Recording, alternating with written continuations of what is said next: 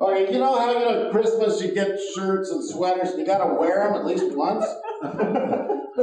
Sermon age.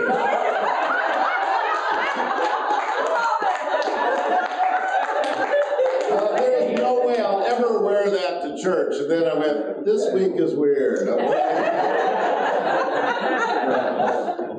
By the way, thank you all for uh, flexing and coming out early uh, with this game thing going on. I'm really torn because I don't know if I should pray that the Lord would help them win, and then we have to maybe figure this out for next week too, or pray that they lose so we can go back to our regular schedule. Which should we do? You're okay flexing for one more week if, if the Lord should lead? Okay, so um, I had one of those weird conversations this morning uh, with one of you, they'll go nameless. So Walt Gustafson comes up. And he, and he said, You know, today is so much like the old hymns of the church. That's the kind of stuff he says to me, you know. And uh, he said, You know, John, doesn't this day just remind you of the hymn, uh, Oh God, our strength in ages past? And I thought, no, but I'm going to go in the office and find a hymnal. so here it is. Okay. Sufficient is thine arm alone, and our defense is sure. Just saying. Sufficient is thy arm alone, and our defense is sure. Thank you, Walt. Always the teacher. They didn't get that at first, did they? They got us out there. We're not football fans. Yeah, that's true. Okay, so, uh, Chris and I had a brilliant idea. Last, la we don't get many, but we got one this week. So last Sunday was Janice's uh, farewell sermon, right? She came and shared, um, and we went, what if we each do our farewell sermon? And see, what, what passage of scripture would we want to preach on if we had one more chance to do that? Now, it's a little complicated because, you know, I'm doing a couple of weeks and he's doing a couple of weeks. So, so there's the last couple of sermons, kind of the element thing. And, and I immediately knew the passage that I would want to um, preach. And in fact, I would like to have uh, at least one of these verses on my uh, tombstone, should I have a tombstone. That's still undecided by Eileen. Um, Philippians chapter 1. It's very, you've heard this many times. I thank my God every time I remember you. In all my prayers for all of you, I always pray with joy because of your partnership in the gospel from the first day until now. Being confident of this, that he who began a good work in you will carry it on to completion until the day of Christ Jesus. And then these next couple of verses were the ones that uh, Sean and Monique told me were selected for the baby for her baptism. This is my prayer. I think this is it. That your love may abound more and more in knowledge and depth of insight, so that you may be able to discern what is best and may be pure and blameless until the day of Christ, filled with the fruit of righteousness that comes through Jesus Christ to the glory and praise of God. I don't know if all that will fit on my tombstone, but I would like at least part of that. Now, I'll tell you why. Um, businesses in their management and their training and their staff development uh, often rely on consultants to come in and they do little personality tests to help them figure out, you know, why they're getting along or they're not getting along or why they don't work well, or help them understand each other. And uh, there was a test called the Myers-Briggs test. Um, you've heard of that? Yeah. And you end up with four letters. Uh, you know, uh, I was an extrovert, so I was an E, and I was intuitive, so I was an N, and I was I cared about ideas more than people, so I was a T, thinking, and uh, and then I was a uh, radical, almost off the chart P, which meant I have absolutely no ability to finish anything.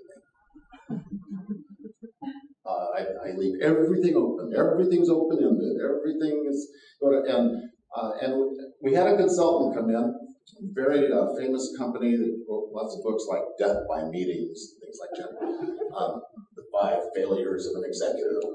So um, they came in uh, as a donation to work with our church in California. And I found out later they wrote a book on silos, uh, power struggles, and territorialism based on our church. but they had to conceal it. So the, the main character in it was a jovial priest uh, at St. John's Catholic Church in Walnut Creek. Why that hit it. But uh, anyway, so they came in and gave us all these tests and everything, and we found out that I was completely different from every staff member. Everyone had their different things, but they got down to the end and they were the opposite of me. They were the, I think it was Jay. They uh, had closure skills, finish things, do it, accomplish it, and they were great at it. And I had none of that. And they looked at me like, we can help you, John. We can train you to get things done. You'll be really good if you ever learn to finish anything. Uh, and then I discovered this verse. And I believe this is God's blessing for people who just can't finish anything.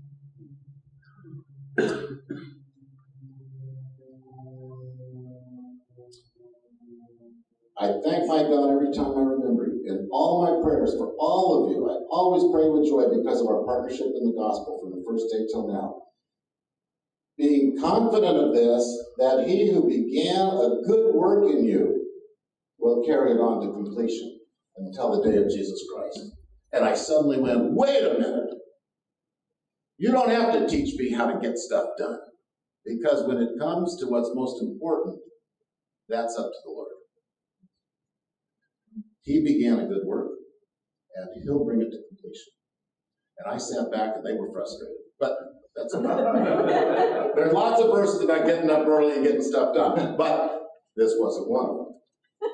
So I claim this verse um, because it reminds me, first of all, that there's a God, and second of all, it is not me.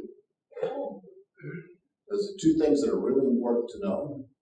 Uh, because, um, and it also reminded me that what God begins in us, the seeds He plants in our mind and our heart, are good. And a lot of times we forget that. Um, I mean, I'm someone, you know, who focuses on all the negativity, and I, I, am good at it. Uh, I can see problems where there aren't any problems, but I can find them and uh, become discouraged from them. And um, and I forget that what God begins is good, and He's building on that. And I don't have to uh, seek out or assume that uh, it's bad.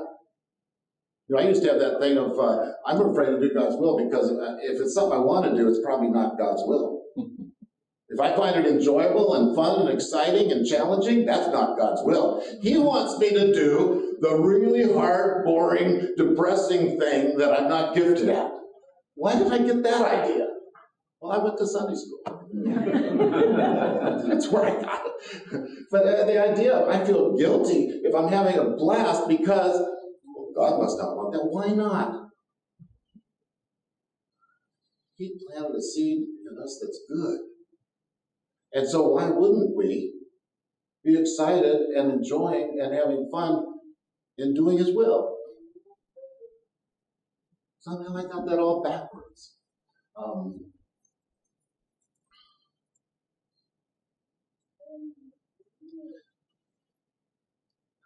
I'm not a person who's confident all the time. I, uh, I get bursts of it, usually at inappropriate times, but um, confidence never was one. I, I'm sort of a, a, poster child for radical adult insecurity. Um, but, but I love that Paul, in writing uh, to the church in the old town of Philippi, begins by saying, Here's, this is one thing I'm confident about. I have confidence. And it's not Julie Andrews and Sound of Music going, I have confidence in confidence alone. That's stupid. Why would you do that? That's like saying, I have faith in faith. You know, it's like, so? Uh, I'm sure there are people in a town somewhere freezing right now who have faith in the Minnesota Vikings. What's that? Just saying. But, um, but the fact that we can have confidence not in ourselves and not in what we've done and not what we're achieving and not what we're working on and not what we're trying to finish and not what we're hoping might happen. We have confidence that He who began a good work in you is going to bring it to completion. He's not done with us. He's not finished with us. He's not tired of us. And we dare not quit before God. It's so easy to want to give up before God gives up. That means we've got bad timing. We need to trust that He's not finished with us. And uh, sometimes it has to do with our, you know, we can pray for our kids and hope that uh, hope that God's not done with them, and then we find out they're still not done with us either, and we've got some ways to go too, and, and all these different situations. Now, this uh, this town of uh, Philippi was an interesting place because um, uh, you notice we have these new lights going in up here? Uh, in February, we're going to have three weekends of uh, Shakespeare here on Macbeth, the um, uh, recycled Shakespeare company, starring Richard Murdy. He's in it. He's in it, and uh, I, am not even going to ask whether you have to wear tights or anything like that. but anyway, uh, just be letting you know. So we're putting in the lights that we've had for five years, but we've never hooked them up, and uh, and uh, we're going to have that. So Shakespeare, though, is the one who talks to us about Philippi, because uh, remember in uh, Brutus and Cassius murder Julius Caesar, right? And then they go, and Mark Antony defeats them in Philippi, which is interesting because Philippi was a Roman uh, garrison, it was a, a, military base. And not a big town, but it had a highway going right through it, and it had hills uh, up above the, the, town, very much like Seattle, basically. Uh, hills around the town. Uh, we have a military base on Bremerton, but uh, and a big ugly freeway coming right up the middle of the town that you never can drive on. You know, that's basically Philippi. And they were known, like Seattle, for being a place of um, openness and flexibility regarding uh, spirituality. So they had the Greek gods to worship, and then they also had the Roman version of those gods to worship, if you, if you prefer that. And then they were famous because they also brought in, they imported from Ethiopia some Ethiopian uh, uh, fertility gods that they brought in. And, uh, and it was into this community, very Seattle like, really, um, that Paul came and uh, began to share about Jesus and planted this little church. And now he's writing to them a few years later from prison in Rome. Uh, and um, you can tell from his letter, if you were to read it, what their issues were spiritual pride, um, divisiveness, anxiety, fear. And he's addressing, encouraging them, he's uh, reminding them, he's correcting them, and, and all that goes on in this very short letter. But the first thing he says is, I am so grateful for you, for all of you. Um, I thank God every time I think of you. Isn't it great to have somebody say that to you? I thank God every time I think of you. And, and then he calls them to, um, to celebrate and enjoy their partnership in ministry. Um, I, I, I really love that because it rings true for our experience here at Harbor Church. This idea we're partners in ministry. Um, we don't know where God's taking us. We don't know what shape it's going to be. Uh, sometimes we feel like we got jeans and a t-shirt and a bag over our head. It doesn't matter.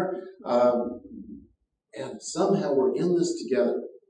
Now, I, I have told you before about the, when I was a new pastor, right out of seminary, and I, I knew everything. and I was smart. I had fast answers. But I uh, we were at uh, Solana Beach Presbyterian Church, about a thousand people in worship, and I got up to preach. I was so nervous, but I really worked on the sermon, I had a manuscript to read, and uh, all of this, and I couldn't find the Bible verse. And it was like, uh, scripture today is, you know, and, you know, I do it subtly, you know, so they don't really know, but after a while they do. and I'm like, oh, I can't even find the table of contents, and there's the maps, and, and, and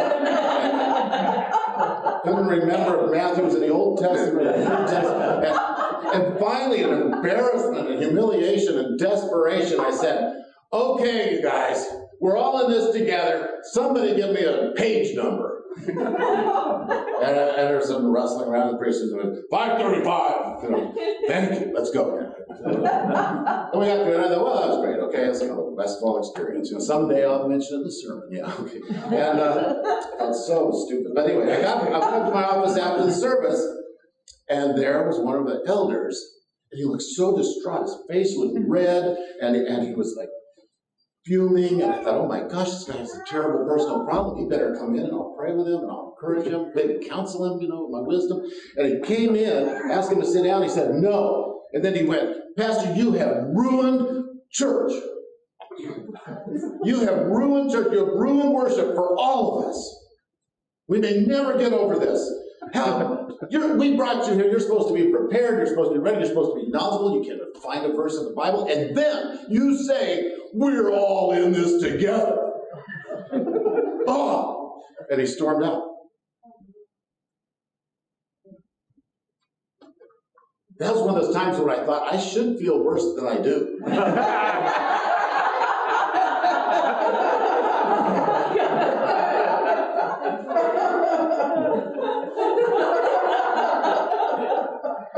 I always pray with joy because because I have it together and I know more than you. And you don't know much, but I can teach you. No, that's not what it says. I always pray with joy because how else can I face the day with all of these problems that you people bring? No, that's not what it says either. I always pray with joy because of your partnership in the gospel. That's why the joy is there. Because we're all in this together.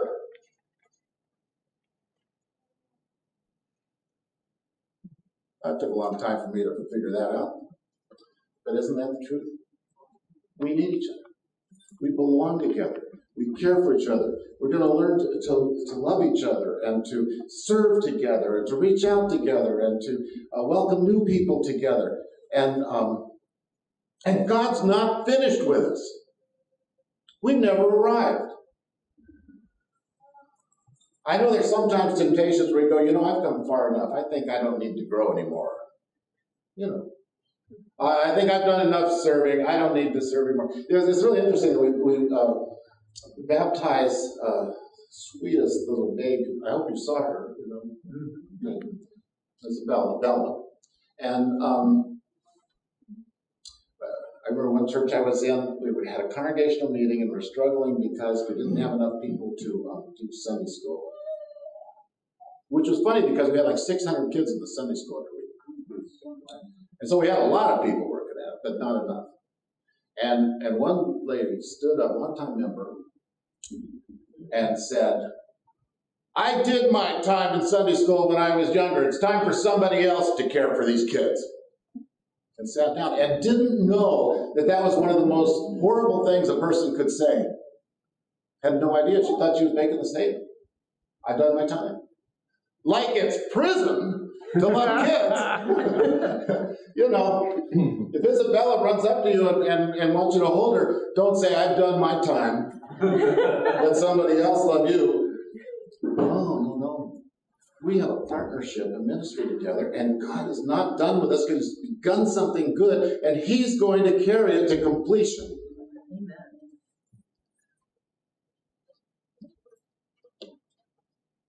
yesterday was a wonderful morning. Uh, new members orientation, and we talked about where we're going, vision for the church, and all those things. Of course, they were hoping that I would share the three-year plan, the five-year plan, the ten-year plan, which that doesn't exist. So um, instead, I told them what really matters here, and what, I'm going to be praying for every day that, that God lets us be together, and that's that we would learn to be vulnerable, we'd be committed to that, that we'd share, we'd be real. So when people come in and visit, they may walk out and they'll say, wow, that church was real. Those people weren't hiding. Uh, may not even like what they shared, but it didn't matter because they were real. And, and that could be the mark of our church. And, and the accountability, that we matter to each other. And we're going through stuff, we care, and and we, we want to be a part of that, and that they'll care about us through it all. And, and commitment that we would go through this uh, ups and downs and twists and turns and misunderstanding, all those things. We would do that together and see where God is taking us along the way. So that's my three year, five year, and 10 year vision. Okay, that's it right there. It has nothing to do with anything else. Um, and I think it would be so fun if we continue being that way and not leave that behind and settle for something less. I think God's planted that seed among us. Uh, every time, we, well, even yesterday, yesterday morning in the meeting, we took some time and, and, each person went around and shared some of their story, their journey of faith, and what God's brought them through. And there were tears and there were laughter, and, and I thought I knew them. And then I hear the stories, I go, I didn't know anything about these people, what they're going through, and all those things. And and the idea that uh, we can we can share our stories, good and bad, and it's a gift that we give. It's a great gift, and we and we honor that, and we and we pray for each other with more love because we know each other better, and our love grows in knowledge. So